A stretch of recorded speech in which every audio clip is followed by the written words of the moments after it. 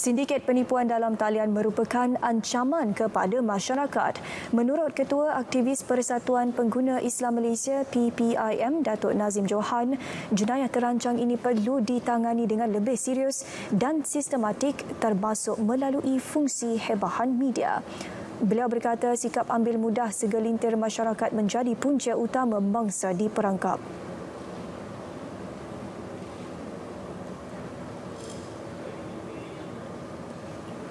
Jadi saya rasa ini kita kena mobiliskan rakyat Malaysia supaya bersama melihat perkara ini sebagai satu ancaman.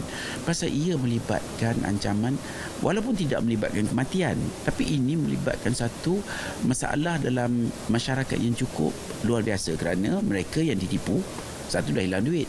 Mereka yang ditipu akaun bukan setakat uh, tak ada dapat apa-apa malah kena ambil tindakan undang-undang oleh mahkamah kena ke penjara pun ada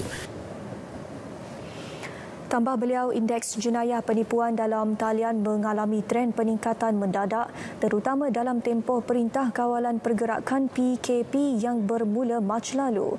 Sumber PDRM merekodkan jumlah keseluruhan jenayah indeks semasa kes berkenaan dari 18 Mac hingga 30 Jun ialah 1,742 kes.